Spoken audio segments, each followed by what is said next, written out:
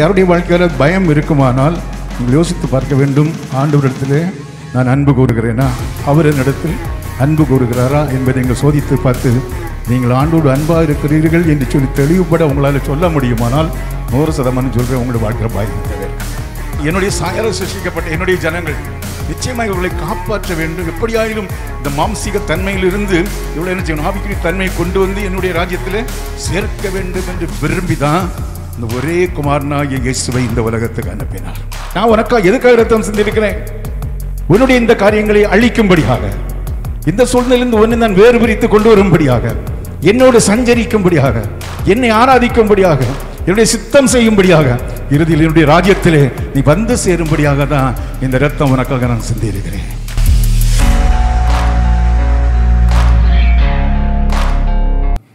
கலாத்தியர் ஆறாம் அதிகாரம் இருபத்தி ரெண்டில் வாசித்தால் ஆவியின் கனியோ அன்பு சந்தோஷம் சமாதானம் நீடிய பொறுமை தயவு நற்குணம் விசுவாசம் சாந்தம் இச்சையடக்கம் என்று கொடுக்கப்பட்டிருக்கு. இவ்வளவும் ஆவிக்குரிய கனி என்று கொடுக்கப்பட்டிருக்கு. சரியா? இப்போ நான் என்ன சொல்ல வரேன்னா ஆதாம் எவ்வளோ ஆண்டவர் இந்த உலகத்தில் சிருஷ்டித்தார்? இவளுடைய வாழ்க்கையில் இது இருந்ததா இல்லையா? இருந்ததா இல்லையா? நூறு சதமானம் இருந்தது. ஏன்னு சொன்னால் ஆண்டவர் அப்படியே சிருஷ்டித்து நீங்கள் எனக்கு பிரியமாக இருக்க வேண்டும். நான் சொல்லுகிற காரியங்களை மட்டும் செய்ய வேண்டும். எதை நான் செய்யக்கூடாது என்று சொல்லியிருக்கணும் அதை மட்டும் நீங்கள் செய்யக்கூடாது என்று சொல்லி ஒரு கட்டளை கொடுத்து அவளுடைய சுவாபம் மொத்தம் இப்படி தான் இருந்தது. எப்படி? அவருடைய வாழ்க்கையில் அன்பு இருந்ததா இல்லையா? அன்பு இருந்தது. அங்கே சண்டை சச்சரவு கிடையாது. ஆண்டவரோடும் அன்புள்ளவர்களாக இருந்தார்கள். வேறு என்னது? சந்தோஷம் இருந்தது சமாதானம் இருந்தது நீடிய பொறுமை இருந்தது தயவு இருந்தது நற்குணம் இருந்தது விசுவாசம் இருந்தது சாந்தம் இருந்தது இச்சையடக்கம் இருந்தது. இப்படி எல்லாமே சரியாகத்தான் இருந்தது. அப்படிதானே? இப்போ அன்பு என்று எடுத்துக்கொண்டாலே அன்பு ஒரு அன்பு அன்பு ரொம்ப முக்கியமாக கொடுக்கப்பட்ட நம்ம திருவிருந்த சொன்னாலே அன்பு மிகவும் முக்கியம். ஆண்டவரோடும் அன்பு இருக்க வேண்டும் மனுஷரோடும் அன்பு இருக்க வேண்டும் என்று சொல்லி போதிக்கப்படுகிறது. இதற்குள்ளாக நியாயப்பிரமாணம் அவளும் அடங்கிவிட்டது என்று சொல்லி வேதம் சொல்லுகிறது. இப்போ அன்பு என்று சொல்லும்போது வேதம் சொல்லுகிறது அன்பில் பயம் இல்லை அன்பில் பயம் இல்லை அன்பு பயத்தை பூரணமான அன்பு பயத்தை புறம்பே தள்ளும். புரியுது உங்களுக்கு? அப்போ அன்பு எப்படி நம்ம கணக்கிடப்படுகிறது என்று சொன்னால் அன்பாக இருக்கிற ஒரு மனுஷன் ஆண்டவரோடு அன்பாக இருக்கிற ஒரு மனுஷன் மனு உலக மனுஷனோடும் அன்பாக இருக்கிற ஒரு மனுஷனுடைய வாழ்க்கையில் என்ன இருக்காது? பயம் இருக்காது. ஆண்டவரை பற்றி பார்ப்போமே. இப்போ ஆண்டவர் இடத்துல நீங்கள் அன்பாக இருந்தீங்கன்னா உங்களுடைய வாழ்க்கையில் பயம் இருக்குமா? நிச்சயமா? இருக்காது. அப்போ பயம் இருக்கிறது என்று சொன்னாலே ஆண்டவரோடு உள்ள அன்பு குறைவுபட்டிருக்கிறதா என்பதை நாம் என்ன செய்ய வேண்டும்? ஆராய்ந்து பார்க்க வேண்டும். அப்போ அந்த ஆண்டவரோடு ஒரு அன்பு வைக்கும்போது என் ஆண்டவர் என் ஆண்டவர் நான் நேசிக்கிறேன். அவர் என்னை நேசிக்கிறார். அப்படி சொல்லும் நிச்சயமாக பயம் நம்முடைய வாழ்க்கையில் வரவே வராது. அப்போ யாருடைய வாழ்க்கையில் பயம் இருக்குமானால் நீங்கள் யோசித்து பார்க்க வேண்டும். ஆண்டவரிடத்திலே நான் அன்பு கூறுகிறேனா? அவர் என்னிடத்தில் அன்பு கூறுகிறாரா என்பதை எங்கள் சோதித்து பார்த்து நீங்கள் ஆண்டோடு அன்பாக இருக்கிறீர்கள் என்று சொல்லி தெளிவுபட உங்களால் சொல்ல முடியுமானால் நூறு சதமானம் சொல்கிறேன் உங்களுடைய வாழ்க்கையில் பயம் இருக்கவே இருக்காது. அல்லது ம மனுஷன் பயப்படுத்தக்கூடிய காரியங்களை செய்யலாம். ஆனால் ஆண்டவர் உங்களுக்கு துணை நின்றால் பயம் இருக்கவே செய்யாது. ப- பூரண அன்பு பயத்தை புறம்பு தள்ளமா பயம் இருந்தாலே இந்த அன்பு என்ன செய்யுமா? அந்த பயத்தை எல்லாம் வெளியே தள்ளிடும் சும்மா தானே போகல வெளியே தள்ளிடும் உள்ளுக்கு இருக்கிற பயத்தை எல்லாம் தூக்கி என்ன செய்யாது வெளியே தள்ளிடும் என்று சொல்லி வேதம் சொல்லுகிறோம் சரியா? இப்போ இவர்கள் அன்பாகத்தான் இருந்தார்கள். எப்போ அன்பு குறைந்தது? எப்படி உங்களுக்கு பயம் பயம் வந்தது? ஆதி ஆகமத்தில் உங்களுக்கு தெரியும். ஆதியாகம் மூன்றாம் அதிகாரம். ஒன்றாவது வசனத்திலிருந்தே சிறிதாக நான் வாசிக்கிறேன். உங்களுக்கு தெரியும் ஆதாம் ஏவாளை உண்டு பண்ணி எல்லாவற்றையும் சிருஷ்டித்து வைத்து நீங்கள் ஆண்டு கொள்ளுங்கள் என்று சொல்லி முழு பொறுப்பையும் இவருடைய கருத்தில் கொடுத்தார். தேவராய் கத்தர் உண்டாக்கின சகல காட்டு மிருகங்களை பார்க்கிலும் சர்ப்பமானது தந்திரம் உள்ளதாக இருந்தது. அது ஸ்திரியை நோக்கி நீங்கள் தோட்டத்தில் உள்ள சகல விருட்சங்களின் கனியும் புசிக்க வேண்டும் என்று தேவன் சொன்னதுண்டோ? என்று என்றது. ஸ்திரீ சர்ப்பத்தை பார்த்து நாங்கள் தோட்டத்தில் உள்ள விருட்சங்களின் கனிகளை புசிக்கலாம். ஆனாலும் தோட்டத்தின் நடுவில் இருக்கிற விருட்சத்தின் கனியை குறித்து தேவன் நீங்கள் சாகாதபடிக்கு அதை புசிக்கவும் அதை தொடவும் வேண்டாம் என்று சொன்னார் என்றார் என்றாள். அப்பொழுது சர்ப்பம் ஸ்திரீயை நோக்கி நீங்கள் சாகவே சாவதில்லை. நீங்கள் இதை புசிக்கும் நாளிலே உங்கள் கண்கள் திறக்கப்படும் என்றும் நீங்கள் நன்மை தீமை அறிந்து தேவர்களைப் போல் இருப்பீர்கள் என்றும் தேவன் அறிவார் என்று. இப்போ இதுவரைக்கும் அன்பாக இருந்த இந்த மனுஷனை மனுஷியை தொலைப்பதற்காக ஆவிக்குரிய தன்மையிலிருந்து மாம்சத்துக்கு மாற்றும்படியாக மாம்சீக பிரகாரமாக சாபத்தையும் பிரச்சனைகளையும் வேதனைகளையும் உண்டு பண்ணும்படியாக சாத்தான் இவருடைய வாழ்க்கையில் என்ன செய்கிறான்? கிரியை செய்கிறான்னு சொல்லி பார்க்குறோம் உங்களுக்கு சமூகம் தெரியும். கொஞ்சம் சொல்லுகிறான் அதை பொசிக்க நாளில் நீங்கள் பயங்கரமாயிருவீங்கன்னு ஆசை கட்டுறான். இப்போ என்ன நடக்கிறது? இந்த சாத்தானுடைய வார்த்தையை கேட்டு அவங்க என்ன செய்கிறாங்க அந்த இதை புசிக்க நாளில் இருப்பீர்கள் என்றும் தேவன் அறிவார் என்றது. அப்பொழுது ஸ்திரீயானவள் அந்த விருட்ச விருட்சம் புசிப்புக்கு நல்லதும் பார்வைக்கு இன்பமும் புத்தியை தெளிவிக்கிறதற்கு இச்சிக்கப்படத்தக்க விருட்சமாக இருக்கிறது என்று கண்டு அதன் கனியை பறித்து புசித்து தன் புருஷனுக்கும் கொடுத்தாள். அவனும் புசித்தான். இப்போ நடக்கிறது? அவள் அதை அந்த விருட்சத்தை பார்த்த உடனே அந்த கனியை பார்த்த உடனே அவளுக்கு அதில் ஒரு இச்சை சின்ன ஒரு விருப்பம். இச்சைன்னு சொல்லும்போது இது வேறு காரியங்கள் கிடையாது. அதை பார்த்து அது எப்படி எனக்கு வேணும். அது சாப்பிடணும். எனக்கு அது விருப்பமாக இருக்கிறது. அது எப்படியா சாப்பிட்டே ஆக வேண்டும்? அது எனக்கு வேண்டும் என்று சொல்லி கர்த்தர் விளக்கிற போதும் அதுக்கு கீழ்ப்படியாதபடி அது இச்சிக்கத்தக்கதாக இருக்கிறது என்று சொல்லி விரும்பி இருந்துச்சுதா அதை அவளும் சாப்பிட்டால் புருஷனுக்கும் கொடுத்தாள் என்று சொல்லிப்பார்கள். இப்பொழுது இங்கே இவருடைய வாழ்க்கையில் பிரச்சனைகள் உண்டாயிற்று. அவருடைய கண்கள் திறக்கப்பட்டது. அவர்கள் தாங்கள் நிர்வாணிகள் என்று அறிந்தும் அறிந்து அத்திலைகளை அத்தி இலைகளை தைத்து தங்களுக்கு அரைக்கச்சைகளை உண்டு பண்ணினார்கள். சரி இது இவ்வளவு நல்லது. இப்போது பிரச்சனை உண்டாயிற்று. இப்போது இவர்கள் இவருடைய மகிமை தேவனுடைய மகிமை இவருடைய வாழ்க்கையை விட்டு என்ன செய்து விட்டது? அகன்று விட்டது. இதற்கு காரணம் என்னென்னா சாத்தான் இவர்களை எப்படி ஆயிலும் ஆவிக்குரிய தன்மையிலிருந்து மானுஷிக மாம்சிக தன்மைக்கு இவர்களை கொண்டு வர வேண்டும். அப்பதான் இவர்கள் தண்டனைக்கு உட்படுத்தப்படுவார்கள் இவர்கள் அழிக்கப்படுவார்கள் வேதனைப்படுவார்கள் என்பதை அறிஞ்சிருக்கும் ஏன்னா இவர்கள் அறிகிறதை காட்டிலும் சாத்தா அறிஞ்சிருக்கும் சாத்தா அழகாக ஐடியா கொடுக்குறேன் பார்த்தீங்களா? அவருக்கு விஷயம் தெரியும். இப்போ இதை கீழ்ப்படியாமல் இவங்க இவங்க பண்ணிட்டா ஜனங்கள் மொத்தத்தை அழிச்சிடலாம். ஜனங்கள் மொத்தத்தை நம்முடைய ராஜ்யத்தில் கொண்டு போய் விடலாம் என்கிற ஒரு நய வஞ்சகத்தை நிமித்தம் இந்த ஆலோசனையை அந்த ஸ்திரீக்கு கொடுத்தான்னு சொல்லி பார்க்கிறோம். ஹலலூயா இப்போ பிரச்சனை உண்டாயிற்று. பகலில் குளிர்ச்சியான வேளையிலே தோட்டத்தில் உலாவுகிற தேவனாகிய கர்த்தருடைய சத்தத்தை அவர்கள் கேட்டார்கள். அப்பொழுது ஆதாமும் அவன் மனைவியும் தேவனாகிய கர்த்தருடைய சன்னதிக்கு விலகி தோட்டத்தின் விருட்சங்களுக்குள்ளே ஒளித்துக் கொண்டார் இப்பதான் என்ன வருது? பயம் வருது. எப்பொழுது தேவனுடைய அன்பை விட்டு விலகினார்களோ இவருடைய வாழ்க்கையில் என்ன வந்துட்டது? பயம் வந்து விட்டது. அப்படிதான் இதுவரைக்கும் பயம் கிடையாது. ஆண்டவர் டெய்லி வர்றாரு பேசுகிறார் நல்ல சந்தோஷமா இருக்கிறார் அவர் குளிர்ச்சியான வேலையில் வருகிறார் சந்தோஷமாக தோட்டத்தில் உலாவுகிறார் தான் சிருஷ்டித்த பிள்ளைகளோடு பேசுகிறார் மகிழ்கிறார். இப்போ அவர்களுக்கு பயமே இல்லை. எப்பமாவது ஆண்டவர் வருகிறார்னு சொல்லி பயந்தது உண்டா? இல்லை சந்தோஷம். அப்படிப்பட்ட ஒரு நல்ல சூழ்நிலையில் இவருடைய வாழ்க்கையில் பயம் வருகிறது. ஏனென்று சொன்னால் தேவனுடைய அன்பை விட்டு அவர்கள் விலகி விட்டார்கள் தேவனை நேசிக்காதபடி இந்த பிசாசு சொன்ன இந்த வார்த்தை கீழ்ப்படிந்து தேவனை விட்டு விலகிறது அவருடைய வாழ்க்கையில் என்ன உண்டாயிற்று? பயம் உண்டாயிற்று. அப்படிதானே? ஒளித்தோடக்கூடிய அளவில் பயம். ஆண்டவர் சிருஷ்டித்த பூமியில் ஆண்டவருக்கே தெரியாமல் ஒளிச்சிருக்க முடியுமா? பாதாளத்தில் படுக்கப்பட்டாலும் அங்கே அவருடைய கண்கள் நம்மை காணும் என்று எழுதப்பட்டிருக்கிறது. அப்படிதானே? எங்கே உயர இருந்தாலும் அவருடைய கண்கள் நம்மை பார்க்க மறை அவருக்கு மறைவாக ஒன்றுமே கிடையாது. அவர் சிருஷ்டித்து உண்டாக்கின அந்த தோற்றத்திலேயே இவர்கள் அவருடைய சமூகத்தை விட்டு ஓடி என்ன செய்கிறார்கள்? ஒழித்து கொண்டார்கள் என்று சொல்லி பார்க்கிறோம். அப்பொழுது தேவனுடைய கர்த்தர் அவருக்கு தெரியுமா தெரியாதா? நிச்சயமாக தெரியும். ஆனாலும் தெரியாதவர் போல ஆதாமை கூப்பிட்டு நீ எங்கே இருக்கிறாய்? என்றார். அவருக்கு தெரியுமா தெரியாதா? அவருடைய கண்கள் எங்கும் உலாவிக் கொண்டிருக்கிறது? எல்லார் நோக்கமாக இருக்கிறது. அவன் பிளான் பண்ணுறதுக்கு முன்பதாகவே அவருக்கு தெரியும். இப்பவுமே எங்கே இருக்கிறான்னு தெரியும். ஆனால் தெரியாதது போல கேட்கிறார் ஆதாமே நீ எங்கே இருக்கிறாய்ன்னு சொல்லி. கூப்பிட்டு எங்கே இருக்கிறாய் என்றார். அதற்கு அவன் நான் தேவரீருடைய சத்தத்தை கேட்டு தோட்டத்தில் கேட்டு நான் நிர்வாணியாக இருப்பதனால் பயந்து ஒழித்து கொண்டேன் என்றான். எப்படி? என்ன இப்போதான் என்ன வருது பயந்து நான் என்ன செய்யிட்டேன் பயந்து ஒழித்து கொண்டேன். அதுக்கப்புறம் ஆண்டவர் கேட்கிறார் ஏன் இப்படி ஆச்சு? என்ன செய்தான்னு கேட்டு பெரிய கான்வர்சேஷன் நடந்தது. பிறந்து ஆப்ர ஆதாம் ஏவாள் சர்ப்பம் எல்லாம் சபிக்கப்பட்டது பூமி சபிக்கப்பட்டது என்று சொல்லிப்பார் இது நமக்கு உள்ள பாயிண்ட் இல்லை. இப்போ நான் என்ன சொல்றேன்னா எப்பொழுது தேவனிடத்தோட அன்பு விலகி பெற்றோ அந்த மனுஷனை என்ன செய்கிறது பயம் ஆளுகை செய்கிறது அப்போ இன்னைக்கு நம்ம பார்க்க வேண்டிய பயம் நம்முடைய வாழ்க்கையில் இருக்கிறது என்று சொன்னால் தேவனுக்கும் நமக்கும் இடையில சிறிய ஒரு பிளவு இருக்கிறது. சின்ன ஒரு ஐக்கியத்தில் கொஞ்சம் குறைவு இருக்கிறது என்பதை நீங்கள் அறிந்து கொள்ள வேண்டும். மற்றபடி எந்த பிரச்சனை வந்தாலும் சரி எந்த வேதனை இருந்தாலும் சரி ஆண்டோடைய அன்பு நம்முடைய வாழ்க்கையில் இருக்குமானால் நாம் நாம் ஆண்டோடத்தில் அன்பு செலுத்துவோமானால் நிச்சயம் பயம் இருக்கவே இருக்காது. சரி அநேகருடைய வாழ்க்கையில் பயமாக இருக்கிறது பயமாக இருக்கிறது பயமாக இருக்கிறது. அப்போ அந்த அதுக்கு ஒரே வழி ஆண்டவர் தான் வெளிச்சம். அவரிடத்துல அன்பு செலுத்த போகிறேன். அவர் என்னுடைய வாழ்க்கையில் இருக்கிறார் என்பதை நான் உறுதிப்படுத்திக் கொள்கிறேன் அவர் இருக்கும்போது எந்த ஒரு சேதமும் என்னை சேதப்படுத்தாது என்று சொல்லி நான் உறுதியாக இருக்கிறேன் என்கின்ற உங்களுடைய வாழ்க்கை இருக்குமானால் நிச்சயம் பயம் உங்களை விட்டு விலகி போகும். சரியா? ஹalleluya இப்போ பூமி இப்போ ஆதாம் ஏவாள் மனுஷ ஜாதி என்ன செய்தது? சபிக்கப்பட்ட பாவத்துக்குள்ளாக மாறிவிட்டது. அப்படிதானே? அப்போ இப்படி பாவத்துக்குள்ளாக மாறி நிறைய காரியங்கள் உங்களுக்கு பழைய ஏற்பாட்டில் புதிய ஏற்பாட்டில் எல்லாம் இருக்குது.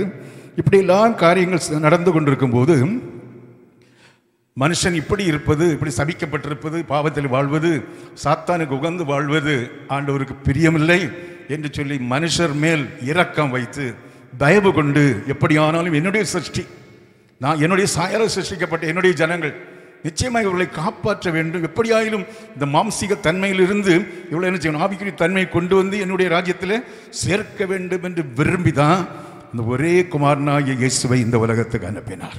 அலலுயா அந்த இயேசு நம்மை என்ன செய்கிறார்? அந்த மாம்சீக எண்ணத்திலிருந்து சபிக்கப்பட்ட நிலைமையிலிருந்து பாவத்தில் இருக்கிற நிலைமையிலிருந்து ஆவிக்குரிய தன்மைக்கு நேராக நடத்துகிறார். சரிதானே? அல்லேலூயா. அதற்காக தான் இயேசு இந்த உலகத்தில் வந்தார் என்று சொல்லி பார்க்கணும். இப்போ பாருங்க இந்த பூமி முதலாவது எப்படி இருந்தது? சபிக்கப்படாமல். நம்ம படித்தது போல இப்படிப்பட்ட குணங்கள் எல்லாம் அதில் இருந்தது. அப்படிதானே? எப்படி? ஆவின் கனி அன்பு அன்பு அன்புள்ள மனுஷர்களாக சந்தோஷமுள்ள மனுஷர்களாக சமாதானம் உள்ள மனுஷர்களாக நீடிய பொறுமை உள்ள மனுஷர்களாக தயவு நற்குணம் விசுவாசம் உள்ளவர்களாக சாந்த மிச்சடக்கம் உள்ளவர்களாக அந்த ஆதியில் இருந்த மனுஷர்கள் இருந்தார்கள். இப்பொழுதோ அந்த மொத்தம் அந்த ஆவிக்குரிய தன்மை தேவனோடு உள்ள ஐக்கியம் அன்பை விட்டு சாத்தான் பிரித்து மாம்சீக பிரகாரமாக மாற்றிட்டான். அப்படிதானே? மாம்சி மாம்சிய மாம்சீக பிரகாரமான எப்படி உலகத்து மனுஷர்கள் எப்படி மாற்றப்பட்டாங்க? ஷார்ட்டாக போவோம். மாம்சத்தின் கிரியைகள் கலாத்தேராறு பத்தொன்பதில் நீங்கள் வாசிப்பீர்களானால் மாம்சத்தின் கிரியைகள் வெளியரங்கமாகின் மாயிருக்கின்றன. அவைகள் ஆவன விபச்சாரம் வேசித்தனம் அசுத்தம் காமவிராகம் வி- விகாரம் விக்கிரகாராதனை பில்லி சூன்யம் பகைகள் விரோதங்கள் வைராக்கியங்கள் கோபங்கள் சண்டைகள் பிரிவினைகள் மார்க்கபேதங்கள் பொறாமைகள் கொலைகள் வெறிகள் களியாட்டுகள் முதலானவைகளே. இப்போ அப்படி இருந்த மனுஷர்கள் இப்போ எப்படி மாறிட்டாங்க? இதில் குறிப்பிட்ட காரியங்கள்லாம் கொடுக்கப்பட்டிருக்கிறது. இவ்வளவு காரியம் இதெல்லாம் அம்சத்துக்குரிய காரியங்கள்னு கொடுக்கப்பட்டிருக்கிறது. உலகத்துக்குரிய காரியங்கள். உலக மனுஷன் செய்யக்கூடிய காரியங்கள் உலக மனுஷன் விரும்பக்கூடிய காரியங்கள் என்று கொடுக்கப்பட்டிருக்கிறது. அலலூயா அப்ப இப்படி இவ்வளவு காரியங்களையும் ஒன்று ஒன்றா வேணாம் நீங்கள் என்ன செய்யலாம்? வீட்டிலேருந்து யோசித்து அது தியானிக்கலாம். இதெல்லாம் என்ன எல்லாம் தப்பு இருக்கிறது? முதல்ல ஒருவன் உச்சாரம் பேசித்தனம் அசுத்தம் காமபிகாரம் இதனாலும் எதேசம் ஒன்றோடு ஒன்று முக்கியமாக சம்பந்தப்பட்ட எதேசம் ஒன்றுனே நம்ம சொல்லலாம். இவ்வளவு காரியங்களும் ஆண்டோருடைய ஆண்டு ஆவிக்குரிய காரியம் அல்ல மாம்சத்தின் கிரியைகள். சரியா? அப்போ இப்படிப்பட்ட காரியங்கள் ஒரு மனுஷனுடைய வாழ்க்கையில் இருக்குமானால் அவன் இப்பொழுதும் மாம்சத்துக்குரியவனாகத்தான் இருக்கிறான். மாம்சத்துக்குரிய காரியங்களை விரும்புகிறான் விரும்புகிறாள் என்று சொல்லி அறிந்து கொள்ள வேண்டும். அப்போ இதிலிருந்து மாற்றும்படியாக அதன் இயேசு தம்முடைய ரத்தத்தை சிந்தி நீ இப்படிப்பட்ட காரியங்களில் இருக்கிறாயா? என்னுடைய ரத்தம் உனக்காக சிந்தப்பட்டிருக்கிறது. உனக்காக தான் ஜீவனை கொடுத்தேன். என்னிடத்தில் வந்துவிடு என்று சொல்லும்போது வரும்போது யாரையும் அவர் புறவே தள்ளுகிற தேவன் அல்ல. ஹalleluya யார் எப்படி இருக்கோமோ நமக்கு நம்முடைய இதயத்தை காண்கிற தேவன் அவருக்கு தான் தெரியும். விளையரங்கமான காரியங்களை மட்டும் பார்க்கறதில்ல இதயத்தின் சிந்தனைகள் இதயத்தின் செயல்பாடுகள் எல்லாவற்றையும் அறிந்திருக்கிற ஆண்டவர். இப்போ அப்போ ஆண்டவர் இன்னைக்கு என்ன சொல்கிறாருன்னா நான் உனக்காக ரத்தம் சிந்தினேன் உனக்காக பாடுகள் பட்டேன் உனக்காக மறித்தேன் இன்னைக்கும் ஜீவனோட தேவனாக இருக்கிறேன். இப்படிப்பட்ட சூழ்நிலை இருப்பாயானால் இந்த மாம்சத்துக்குரிய காரியங்கள் நீ செய்து கொண்டிருந்தால் இன்றைக்கு நீ என்னுடைய சமூகத்தில் வரும்போது உன்னை ஆவிக்குரிய மகனாக மகளாக நான் மாற்றுவேன். ஹalleluya உன்னோடு நான் கிரியை செய்வேன் உன்னோடு நான் பேசுவேன் உன்னை உன்னுடைய தலையை உயர்த்துவேன். இறுதியில் என்னுடைய ராஜ்யத்தில் சேர்ப்பேன் என்று சொல்லுவதற்காக தான் ஆண்டவர் இன்றைக்கு இந்த வசனங்களை நமக்கு தியானிக்கும்படியாக தந்திருக்கிறார். ஹலலூயா அப்போ இந்த காரியங்கள் மாம்சத்துக்குரிய காரியங்கள். மாம்சம்னா உலகப் பிரகாரமான காரியங்கள். உலகப் பிரகாரமான மனுஷன் விரும்புகிற காரியங்கள் என்று சொல்லி பார்க்கிறோம். அடுத்தது விக்கிரக ஆராதனை. விக்கிரக ஆராதனை என்று சொல்லும்போது உங்களுக்கு தெரியும். அதாவது ஆண்டவர் ஆண்டவரை வைக்க வேண்டிய ஸ்தானத்தில் ஆண்டவரை வைக்காதபடி ஆண்டவர் மிஞ்சி நீங்கள் எதை நேசித்தாலும் அது என்னது? விக்கிரக ஆராதனை என்பதை நீங்கள் அறிந்து கொள்ள வேண்டும். இன்னும் நே- அநேக ஜனங்கள் நேரடியாகவே விக்கிரகங்களை என்ன செய்கிறார்கள்? வழிபடுகிறார்கள். அவர் அதற்கு ஒன்றுமே செய்ய முடியாது. ஆனாலும் ஆண்டவருக்கு கொடுக்கிற கனத்தை அந்த சிலைக்கு கொடுக்கும்போது ஆண்டவர்னு சொல்லி அது விக்கிரக ஆராதனை என்று அவர் என்ன செய்கிறார்? வர்ணிக்கிறார். சரியா? அப்போ விக்கிரகம் சொல்லி ஒருவேளை அநேகருக்கு பணங்கள் விக்கிரகமாக இருக்கலாம். அதைத்தான் நேசிப்பாங்க. ஆண்டவரை விட அதைத்தான் நேசிப்பாங்க. சிறகு தன்னுடைய பிள்ளைகள் விக்கிரகமாக இருக்கலாம். ஆண்டவரோட அவர் நேசிப்பார். சிலரோட புருஷன் மனைவி யார் இருந்தாலும் சரி ஆண்டவரோட முக்கியமாக இருக்கலாம். அதெல்லாம் அவருடைய வாழ்க்கையில் விக்கிரகங்கள் என்று சொல்லி தான் பார்க்க வேண்டும். ஹலலூயா அப்போ உலகத்தில் நீங்கள் இருக்கும்போது ஆண்டவரை விட ஒரு மேல ஸ்தானத்தில் எதை நீங்கள் வைத்து நினைத்து கொண்டிருந்தாலும் அதை தியானித்து கொண்டிருந்தாலும் என் ஆண்டவர் சொன்னார் வசனங்களை இரவும் பகலும் தியானிக்கிற மனுஷன் பாக்கியவான். ஆண்டவருக்கு ஒரு சிந்தனை ஆண்டவருக்காக என்ன செய்யலாம் என்கிற சிந்தனை ஆண்டவர் என்னோடு கூட இருக்க வேண்டும் இருக்கிறார் என்கிற ஒரு தெளிவு இதை விட்டு விட்டு வேற எதையாவது நம்ம பெருசுபடுத்திட்டு நம்ம அதை ஃபோக்கஸ் பண்ணிட்டு இருந்தோம்னா அது என்னது? விக்கிரக ஆராதனை. ஹalleluya இனி பில்லி சூரியம் என்று சொல்லும்போது பில்லி சூரியம் என்று சொன்னாலே ஏதோ பிசாசுகளை வச்சு அப்படி செய்கிறாங்க அப்படின்னு இல்லை. ஒருவன் நல்லா இருக்கக்கூடாது தாழ்த்தப்பட வேண்டும் என்னை விட நல்லா இருக்கக்கூடாது அப்படின்னு சொல்லி ஒரு மனுஷன் நினைத்தாலே அது என்னது? பில்லிசீனம் பில்லிசீனம் வைக்கிறாங்கன்னு எதுக்கு? அவங்க நல்லா இருக்கட்டும் அங்கே வைப்பாங்க. இல்லை பக்கத்து வீட்டில் கொண்டு வச்சுட்டு போகிறாங்கன்னா அவங்க வளரவே கூடாது நாசமாக போகணும் தொலைந்து போக வேண்டும் என்று சொல்லி. அப்போ நீங்கள் அப்படி ஒரு செய்யாவிட்டாலும் மனதளவில் இவன் நல்லா இருக்கக்கூடாது ஐயோ நம்ம இப்படி தாழ்ந்திருக்கிறோமே மற்றவர்கள் உயர்ந்து விடக்கூடாது பக்கத்தில் வீட்டுக்காரர்கள் உயர்ந்து விடக்கூடாது என்னோட கூட இருக்கிறவர்கள் உயர்ந்து விடக்கூடாது அதை விட நான் உயர வேண்டும் உயருங்கள் வேண்டாம் என்று சொல்லலை. அதற்காக மற்றவர்கள் தாழ தாழ்த்தப்பட வேண்டும். மற்றவர்களை கம்பேர் பண்ணுகிற காரியங்கள் வந்து என்னது? பில்லி சூனியம் என்பதை நீங்கள் மறந்து விடக்கூடாது ஹலலூயா அடுத்து என்னது? எல்லாம் தெளிவாக தந்து உங்களுக்கு பெரிய பகைகள். ஆண்டுடைய பிள்ளைகள் பகையாக இருக்கவே கூடாது. பகையோடு இருக்கிறோம்னா நம்ம மாம்சத்தோடு இருக்கிறோம் என்று தான் அடுத்த மாம்ச சிந்தையோடு தான் இருக்கிறோம் என்று நீங்கள் புரிந்து கொள்ள வேண்டும். அடுத்தனது பகைகள் விரோதங்கள் இது ரெண்டும் ஒன்றோடு ஒன்று சம்பந்தப்பட்டது தான் வைராக்கியங்கள் வைராக்கியம்னாலும் உங்களுக்கு தெரியும் விளக்க வேண்டிய அவசியம் இல்லை. கோபங்கள் சண்டைகள் பிரிவினைகள் மார்க்க பேதங்கள் மார்க்க தெரியும். வா மார்க்கம் பெருசா ஏ மார்க்கம்? பெருசா என்னோட உன்னோட நான் குறைஞ்சவனா? குறைஞ்சவளா? சபையை கூட பூர்த்தி கூட சொல்லக்கூடாது. உங்கள் சபையோட என் சபை குறைஞ்சதா அப்படி கூட என்ன செய்யக்கூடாது? பேசக்கூடாது. புரியுதவங்களுக்கு எல்லாம் கிறிஸ்துவின் சபை. அலலூயா ஆவியோடு உண்மையோடு நீங்கள் ஆராதிக்க வேண்டும். ஆண்டோடைய வார்த்தைகளுக்கு கீழ்ப்படிந்து நடக்க வேண்டுமே தவிர என்னோடு நீ பெருசா உன்னோட ப- அது பத்து பேராக இருந்தாலும் சரி அஞ்சு பேராக இருந்தாலும் சரி ஐயாயிரம் பேராக இருந்தாலும் சரி இந்த இதெல்லாம் என்ன செய்வது? போட்டி பொறாமைகள் எரிச்சல்கள் கோபங்கள் மார்க்க பேதங்கள் இருக்கவே கூடாது. சரியா? எல்லாரும் கிறிஸ்துவை உடையவர்கள். கிறிஸ்துவை உடையாதவர்களாக இருந்தால் இந்த நாட்களே கிறிஸ்துவை உடையவர்களாக மாற்றும்படியாக தான் இயேசுடைய சரீரம் பிற்கப்பட்டது இயேசுடைய ரத்தம் சிந்தப்பட்டது. அலலூயா பொறாமைகள் கொலைகள் வெறிகள் இதெல்லாம் உங்களுக்கு தெரியும். களியாட்டுகள் முதல முதலானவைகளே பொறாமைகள். பொறாமை என்கிறதே மாம்ச சிந்தை மாம்ச மாம்சத்துக்குரியவர்களுக்குள்ள ஒரு ஆள் முன்னேறது பார்த்து ஏதாவது காரியங்களை போய் நம்ம பொறாமைப்படுகிறோம் என்று சொன்னால் நீங்கள் யோசித்து பார்க்கணும். நான் மாம்சத்துக்குரியவனாக தான் இருக்கிறேன். ஆவிக்குரியவனாக நான் என்ன செய்யவில்லை?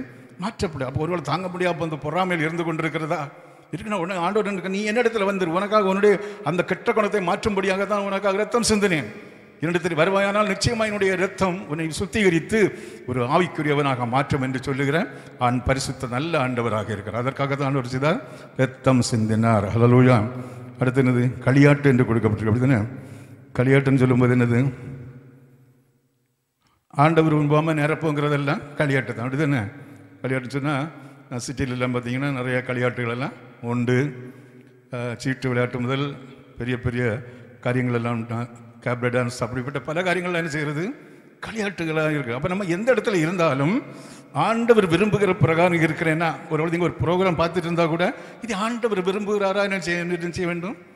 யோசித்து பார்க்க வேண்டும். நீங்கள் ஒரு டிவி போட்டு ஒரு ப்ரோக்ராம் பார்க்குறீங்க ஒரு கிறிஸ்டியன் ப்ரோக்ராமாக இருக்கட்டு இருந்தாலும் இது இப்போ ஆண்டவர் விரும்புகிறாரா? இல்லை இந்த நேரத்தை நான் வேறு எதுக்காக செலவழிக்கணுமா? இல்லை ஆண்டவரை பற்றி சொல்லணுமா? அல்ல நான் ஜெபிக்க வேண்டுமா? அல்லது நான் சர்ச்சைக்கு போகணுமா? இப்படியெல்லாம் யோசிக்கணுமே தவிர கிறிஸ்தவ ப்ரோக்ராம் தான் தானே என்று சொல்லி நினைச்சிடக்கூடாது இருந்து விடக்கூடாது அலலூயா சிலருக்கு ரிமோட் மைல் மட்டும் கையில் கிடைச்சா போதும். காலையில் அஞ்சு மணிலேருந்து ஒரு பிரசங்கம் தொடங்கி ராத்திரி உறங்குது வரைக்கும். கேட்டால் சொல்லுவாங்க ஒரு பத்து பதினஞ்சு பிரசங்கத்தை நான் என்ன செய்தாச்சு? பார்த்தாச்சு. அலலூயா நான் ஏதாவது ஒரு பாயிண்ட் தெரியுமா? தெரியாது. என்ன பிரச்சனை ஒன்றுமே கிடையாது. ஏதாவது தேவையான ப்ரோக்ராம் பாருங்கள் சரி களியாட்டுன்னு சொல்லும்போது அதிலே நமக்கு வேடிக்கை பொருட்கள் இருக்குது. நம்முடைய நேரத்தை எல்லாம் கொல்லுகிற உலக பிரகாரமாக சில சந்தோஷங்களை கொண்டு தருகிற நிறைய காரியங்கள் இருக்குது. இப்போ செல்ஃபோன் இருக்கும்போது எப்படி? செல்ஃபோன் தான் அடிக்கடி சொல்லுது. ஏன்னா பிள்ளைகளெல்லாம் நாசமாக போயிட்டு இருக்கிறாங்க அப்போ அதில் சில காரியங்கள் எல்லாம் விளையாட்டு கூட இப்போ அதில் இருக்கிறது கேமிங்னு சொல்லிட்டு ஒரு பெரிய பெரிய ஆப்பை தொடங்கி செய்கிறாங்க நாலஞ்சு பேர் அங்கே சுற்றி இருந்து விளையாடுறாங்க. ஒருத்தன் இங்கே இருப்பான் ஒருத்தன் நாரில் இருப்பான் ஒருத்தன் திருவனந்தத்தில் இருப்பான் ஒருத்தன் சென்னையில் இருப்பான். நாலு பேர் என்ன செய்கிறாங்க ஒரே விளையாட்டு தான். ஒரே விளையாட்டு. அந்த நாள் முழுசும் பால் மணிக்கூர் கணக்கில் பாழாகிறோம் சரியா? அப்போ அந்த களியாட்டுகள் எல்லாம் மாம்சத்துக்குரியவைகள் என்று சொல்லப்பட்டிருக்கிறது. கிறிஸ்துவை குறித்த தியானத்தை பிள்ளைகளுக்கு என்ன செய்ய வேண்டும்? போதிக்க வேண்டும். அதுதான் வாழ்நாள் வாழ்நாளை பெருக பண்ணும் வாழ்நாளில் ஆசீர்வாதமாக இருக்கும். ஹலலூயா அதில் இப்போ நம்ம பெற்றோர்களும் ரொம்ப ஒன்றும் ஒன்றும் செய்ய முடியாது. ஆனாலும் இதில் நீங்கள் மனதில் கொள்ள வேண்டும். இதெல்லாம் உலகத்துக்குரிய காரியங்கள் என்று சொல்லி நீங்கள் அவருடைய விலைக்கு கொடுக்க வேண்டும். இப்போ கடந்த நாள்கள் கூட ரெண்டு நாளைக்கு முன்னால் நீங்கள் ஒரு செய்தி கேட்டிருப்பீங்க. அப்படி தானே இது சென்னையில் ஓமந்தூர் ஓமந்தூர் மருத்துவமனையா? ஓமந்தூர் தானே? அல்ல வெந்தயமா? சரி அப்படி ஒரு பெரிய ஹாஸ்பிட்டல் இருக்கிறது. அங்கே ஒரு எழுபத்தி ரெண்டு பேர் அட்மிட் அட்மிட் ஆகிருக்காங்க எழுபத்தி ரெண்டு பேரும் இருபது வயதுக்கு கீழ்ப்பட்ட பிள்ளைகள். யாராவது வாசித்தீங்களா? ஒருத்தரும் இல்லையா? ஒன்றும் வாசிக்காதீங்க. உலகத்தில் என்ன நடக்குன்னு தெரியாதுன்னு தெரியாண்டாமா? சரி பை நீங்கள் பைபிளையும் கைமா இருங்க அதே பெரு அதே பெருசு தான் இரவும் பகலும் வேதத்தில் தியானமாக இருங்க. நல்ல காரியம்தான். எழுபத்தி ரெண்டும் எழு அந்த சம்திங் பிள்ளைகள் அட்மிட் ஆகியிருக்காங்க. எதுக்கு? செல்ஃபோன் பார்த்து அடிமையாகி மென்டல் ஆகி மென்டல்னா ஃபுல்லாக இல்லை ஆனால் நினச்சிங்க அவங்கள அவங்க இதில் போட்டிருக்கு அப்படின்னா சாப்பிடாமல் சாப்பிடாம இருக்கிறாங்களா? உறங்காமல் இருக்கிறாங்களா? எப்போது செல்ஃபோன் இருக்கு வச்சுருக்கணும்னு யோசிக்கிறாங்களா? கொண்டு தெரியுறாங்களா? அதை யாராவது காட்டுட்டா பிடிங்கிட்ட கோவம் வருதா? இப்படி சில சிம்டம்ஸ் எல்லாம் போட்டிருக்கு. இப்படி இருக்குன்னா உடனே எங்கள் ஆஸ்பத்திரி என்ன செய்யுங்க? ஃபோன் பண்ணுங்கள் நாங்கள் உடனே வந்து என்ன செய்திருவோம்? வைத்தியத்தை பிடிச்சிட்டு போகிற மாதிரி பிடிச்சிட்டு போயிடுறோம் அப்படின்னு. அல்ல அப்போ இப்போ இவ்வளோ பேர் அங்கே பிள்ளைகள் படிச்சு இதுக்குன்னா இதை பார்த்து பார்த்து விளையாடி விளையாடி கண்ணெல்லாம் பொத்தி எல்லாம் அவங்க பைத்தியம் பிடிச்சி அவங்க கண்டுபிடிக்க முடியாது. அதுதான் பெற்றோர்கிட்ட சொல்கிறாங்க இப்படி இந்த இதெல்லாம் தெரியுதா? டைமு சாப்பிடாம இருக்காங்களா? கோபம் கூடுதல் வருதா? உறங்காமல் இருக்கிறாங்களா? உடனே என்ன செய்யுங்க? இதுதான் ஐட்டம் கொரோனா வந்துட்டு உடனே செய்யுங்க? ஃபோன் பண்ணுங்க. நாங்கள் வந்து ஒரே அமுக்கா அமைக்கிறோம். அலலூயா அப்போ இதெல்லாம் என்னது? மாம்சத்துக்குரிய காரியங்கள். ஏன்னா இப்போ அப்படி உலகம் மாறிட்டு. ஆனால் நம்ம பெற்றோராகிய நாம் பெரியவர்களாகிய நாம் எப்பவுமே கொஞ்சம் கவனமாக இருந்தால் நம்முடைய பிள்ளைகள் பைத்தியம் பிடிப்பதிலிருந்து காப்பாற்றி கொள்ளலாம். சரியா? அதனால் உற்சாகமாக இருக்கும் சரி இப்போ இதெல்லாம் நான் சொல்லணும் நம்ம இன்னைக்கு பாயிண்ட் இல்லை. இப்போ இவ்வளவு காரியங்கள் குறிப்பாக கொடுக்கப்பட்டிருக்கு. அப்போ இவ்வளவு காரியங்களும் மாம்சத்துக்குரிய காரியங்கள் ஆவிக்குரிய ஆவிக்குரிய பிரகாரமாக இருந்த ஆண்டவரோடு அன்பு வைத்து ஆண்டவரோடு சஞ்சரித்து கொண்டிருந்த ஒரு மனுஷ வாழ்க்கை இப்பொழுது இப்படி என்ன செய்து விட்டது? மாற்றப்பட்டு விட்டது. அப்போ இதையும் மாற்றும்படியாக பழையபடி இந்த சாபத்திலிருந்து இந்த பாவத்திலிருந்து மாம்சீக கிரியைகளிலிருந்து ஜனங்களை விடுவித்து பழையபடி ஆண்டவரோடு ஐக்கியம் வைக்கிற ஒரு மனுஷனாக மனுஷியாக மாற்றும்படியாக தான் இயேசு இந்த உலகத்தில் வந்து ரத்தம் சிந்தினார். இயேசு பாடுகள் பட்டார். என் என் பிள்ளைகள் எல்லாம் இந்த காரியங்கள் எல்லாம் அந்த பிசாசுகளுடைய வாழ்க்கையில் புகுத்தி ஓ தேவ அன்பற்றவர்களாக மாற்றி விட்டான் ஆண்டவருக்கு அவங்களுக்கு சம்பந்தமே இல்லை. ஆகவே இவர்கள் எப்படியாவது மீட்டு தேவ அன்புக்குள்ளாக கொண்டு வர வேண்டும் என்று இயேசு விரும்பி என்ன செய்தார்? எப்படி கொண்டு வர ஆரம்பிக்கிறாரு? அன்பு சந்தோஷம் சமாதானம் நீடிய பொறுமை தயவு நற்குணம் விசுவாசம் அடுத்து என்னது? சாந்தம் இச்சையடக்கம் இப்படிப்பட்ட காரியம் குணாதிசயங்கள் உள்ள ஒரு மனுஷனாக மனுஷியாக மாற்றும்படியாக தான் இயேசு ரத்தம் சிந்தினார். அப்போ இன்றைக்கு அவருடைய ரத்தத்தையும் அவருடைய சரீரத்தையும் போஜனம் பண்ண பண்ண போகிற தேவனுடைய பிள்ளையை இன்றைக்கு நம்முடைய வாழ்க்கை எப்படி மாற்றப்பட்டிருக்கிறதா என்று சொல்லி நாம் சிந்தித்து பார்க்க வேண்டும்.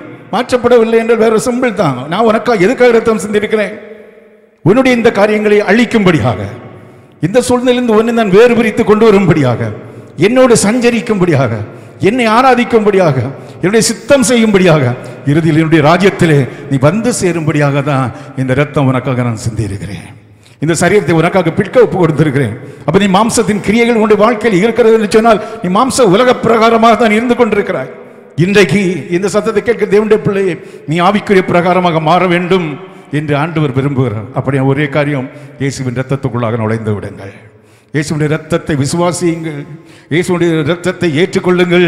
எதற்காக சிந்தினார் என்று அந்த ரத்தம் எனக்காக அவருடைய பச்சை ரத்தம் சிந்தப்பட்டது என்று சொன்னால் இவ்வளவு வேதனைகள் பட்டார் என்று சொன்னால் இந்த இயேசுவின் அன்பை விட்டு நான் வெளியே எங்கேயும் போகக்கூடாது. சாத்தான் இழுக்கத்தான் பார்ப்பான். அவனுடைய பிடியில் எப்படியாவது நான் பிடுங்கிக் கொண்டு வர வேண்டும். உலகம் அதுக்கு காத்து கொண்டிருக்கிறது பிசாசு காத்து கொண்டிருக்கிறது எப்படா இந்த மாம்ச ஆ- ஆவிக்குரிய காரியத்திலிருந்து இவனை விலக்கி இவளை விலக்கி எப்படி மாம்ச பிர- மாச மாம்சீக பிரகாரமாக மாம்ச சிந்தை உலகம் மாற்றலாம் என்று சொல்லி சாத்தான் வகை தேடி கொண்டிருக்கிறான் எல்லாரும் எல்லாருக்கும் உண்டு ரிஸ்க். ஏசப்பக்கிட்டே வந்தான். எப்படியும் நீ என்ன செய்ய என்னை பணிந்து கொள். உனக்கு எல்லாம் தர்றேன். நான் தான் முக்கியம். ஹalleluya. எல்லாம் காட்டினார். ஆண்டவர் இந்த உலகத்தை இச்சிக்கவில்லை. அனுப்பினவருடைய நோக்கம் என்னுடைய வாழ்க்கையிலே நிறைவேற வேண்டும் என்று சொல்லி அவர் துணிவாக இருந்தால் சாத்தான் ஓடிப்போனான் என்று சொல்லி பாருங்கள் உள்ள இயேசுவை போல நம்ம ஸ்ட்ராங்காக நிற்க முடியாது. நிலவில் இப்படி நம்ம துவண்டு விடுகிறோம். அவற்றில் நம்ம மீட்கும்படியாக தான் இயேசு இந்த உலகத்தில் வந்தார். இன்றைக்கு இயேசுடைய ரத்தத்தை விசுடைய சரித்தை போஜனமனம் பண்ண போகிற பிள்ளையை நினைக்க வேண்டிய காரியம் மாம்ச சிந்தனையோடு மாம்சிக வாழ்க்கையோடு வாழ்ந்து கொண்டிருக்கிற என்னை ஆவிக்குரிய பிரகாரமாக பரிசுத்தாவியானவரோடு இயேசுவோடு இணைக்கும்படியாக அந்த இந்த காரியத்தை ஆண்டவர் செய்தார். இதை நான் விசுவாசிக்கிறேன் என்று சொல்லி ஏற்றுக்கொண்டீர்கள் என்று சொன்னால் நிச்சயமாக ஆண்டவர் உங்களை கைவிட மாட்டார். நித்திய ராஜ்ய நமக்காக வாக்களிக்கப்பட்டிருக்கிறது. ஹலலூயா அடுத்து சொல்லப்பட்டு பாருங்கள் கிறிஸ்துவனுடையவர்கள் தங்கள் மாம்சத்தையும் அதன் ஆசை இச்சைகளையும் சிலுவையிலே அறைந்திருக்கிறார்கள் கிறிஸ்துவ உடையவர்கள் அதாவது ஆவிக்குரியவர்கள். இந்த காரியங்களில் சிலுவையிலே அரைஞ்சு அப்படின்னு அர்த்தம்? அதெல்லாம் எனக்கு தேவையில்லை அதெல்லாம் வேண்டாம். இப்படிப்பட்ட சுபாவங்கள் என்னுடைய வாழ்க்கையில் இருக்கக்கூடாது என்று சொல்லி விட்டு விடுகிறார்கள் நாம் ஆவியினாலே பிழைத்திருந்தால் ஆவிக்கேற்றபடி நடக்கும் கிடவோம் அப்போ ஆவிக்கே ஆவியிலே பிழைத்திருந்தால் ஆவிக்குரியவர்களாக இருந்தால் ஆவிக்கேற்றபடி நடக்கவும் கடவும் என்ன செய்யணுமா? வீண் ஆவிக்குரியவர்கள் எப்படி இருக்கணுமா? வீண் புகழ்ச்சியை விரும்பாமலும் ஒருவரை ஒருவர் கோபமூட்டாமலும் ஒருவர் மேல் ஒருவர் பொறாமை கொள்ளாமலும் இருக்க கடவன். அப்போ ஆவிக்குரியவர்களாக இருந்தால் சில காரியங்கள் நம்முடைய வாழ்க்கையில் இருக்க வேண்டும். எப்படி இருக்க வேண்டும்? வீண் புகழ்ச்சியை என்ன செய்யக்கூடாது? விரும்பக்கூடாது. அப்போ நம்மளை புகழுகிறதற்கு நிறைய காரியங்கள் இருக்கலாம். புரியாதவங்களுக்கு ஒருபோதுமே இந்த புகழ்ச்சிக்குள்ளே மாட்டி விடக்கூடாது சரி ஒருவேளை உங்களை திட்டுனாங்கன்னா அதை வேணால் ச சந்தோஷமாக கொள்ளுங்கள் உங்களை பற்றி மோசமாக சொன்னாங்கன்னா சந்தோஷமாக ஏற்றுக்கொள்ளுங்க. உங்களை பற்றி யாராவது புகழுகிறாங்கன்னா கவனமாக இருக்கணும். அலலூயா வீண் புகழ் செஞ்சு கூட விரும்பவே கூடாது. புகழ் நீங்கள் உங்களுக்கு ஒரு நல்ல காரியம் என்ன ஆண்டவரே என்ன செய்யட்டும். புகழட்டும். நீங்கள் ஆண்டவர் நன்றி செலுத்துங்க. ஆண்டவர் மகிமை செலுத்துங்க. என்ன புகழ்ச்சியை வேண்டாம்னு சொல்லி ஒதுங்கிருங்க யாருமே அதில் என்ன செய்திடாதீங்க விழுந்து போகாதீர்கள். அலலூயா சில வேளை பிள்ளைகள் ஏதாவது காரியங்களை சாதிச்சுட்டு வந்து அப்பாட்ட சொல்லுவாங்க அம்மாட்ட சொல்லுவாங்க சரி மக்களை ஆண்டவருக்கு நன்றி செலுத்து அப்படின்னு சொல்லணுமே தவிர ரொம்ப போற்றி புலர்த்தி உன்ன இந்த மாதிரி உலகத்தில் உண்டான்னு சொன்னால் அவங்க விழுந்துட்டாங்கன்னு நினச்சிக்கிடுங்க. சரியா? பெற்றோர் கூட நினச்சிக்கணும் என்கரேஜ் பண்ணலாம். ஆனால் ஆண்டவருக்கு தான் மகிமை செலுத்த வேண்டும். நீங்களும் உங்களுடைய பிள்ளைகளோ புகழ்ச்சி என்ன செய்யக்கூடாது? விரும்பக்கூடாது. ஒருவேளை பெரிய பெரிய காரியங்கள் நடக்கலாம். எல்லாவற்றும் கத்தருக்கு மகிமை செலுத்த வேண்டுமே தவிர நம்ம என்ன செய்யக்கூடாது? மகிமை ஏற்றுக்கொள்ளவே கூடாது. அந்த புகழ்ச்சியை விரும்பவே கூடாது. சரியா? புகழ்ச்சியை விரும்பினால் விழுவதற்கு சரியான ஒரு வாய்ப்பு. அடுத்து என்னது? ம், ஒருவரை ஒருவர் கோபம் ஊட்டக்கூடாது. ஒருவர் என்ன செய்யக்கூடாது? கோபம் ஊட்டினா அவங்க மாம்சத்துக்குரியவர்களாக தான் இருக்கிறாங்க. ஆவிக்குரியவர்களாக இருக்க முடியாது. ஆவிக்குரியவர்களாக இருந்து ஆவிக்கேற்றபடி நடக்கிறீங்கன்னு சொன்னால் ஒருவருக்கு கோபம் ஊட்டவே கூடாது. ஏன்னா அன்பு சந்தோஷம் சாந்தம் எல்லாம் தான் இருக்க வேண்டும். சரியா? ஹalleluya கோபமுட்டாமலும் ஒருவர் மேல் ஒருவர் பொறாமை கொள்ளாமலும் இருங்கள். பொறாமை என்கிறதே ஆவிக்குரிய பிள்ளைகளுடைய வாழ்க்கையில் இருக்கவே கூடாது. யார் வேணாலும் எப்படி வேணாலும் எது வேணாலும் செய்யட்டும். ஆண்டவருக்கு ஒரு காரியத்தில் அவர் உயர்த்தப்பட்டார்கள் என்று சொன்னால் இன்னும் உயர்த்தப்படுங்கள் என்று சொல்லுங்க. உயர்த்தப்படுகிறதற்காக ஜபியுங்கள். ஒருபோதும் ஒருவர் மேலே என்ன செய்யாதீங்க? பொறாமை கொள்ளாதிருங்கள். சரியா? ஹalleluya இருக்க கடவுள் சகோதரரே ஒருவன் யாதொரு குற்றத்தில் அகப்பட்டால் ஆவிக்குருளாகி நீங்கள் சாந்தமுள்ள ஆவியோடே அவளை சீர்பருந்த பண்ணுங்கள். நீயும் சோதிக்கப்படாதபடிக்கு உன்னை குறித்து எச்சரிக்கையார். ஏதாவது ஒரு குற்றம் செய்கிறவர்களை கண்டால் இந்த சாந்தமுள்ள ஆவியோடு அவளை எப்படியாவது திருத்துறதற்கு ட்ரை பண்ண வேண்டும் என்று சொல்லி வசனம் சொல்லுகிறது. நீங்களும் சோதிக்கப்படாதபடி உங்களை குறித்து எச்சரிக்கையாயிருங்கள். ஒருவர் பாரத்தை ஒருவர் சுமந்து இப்படியே கிறிஸ்துவனுடைய பிரமாணத்தை நிறைவேற்றுங்கள். ஒருவன் தான் ஒன்றுமில்லாதிருந்தும் தன்னை ஒரு பொருட்டென்று எண்ணினால் தன்னைத்தானே வஞ்சிக்கிறவனாவான்.